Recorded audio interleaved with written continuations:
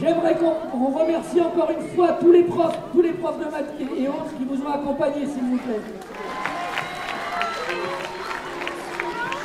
mais ils sont comment vos profs de maths?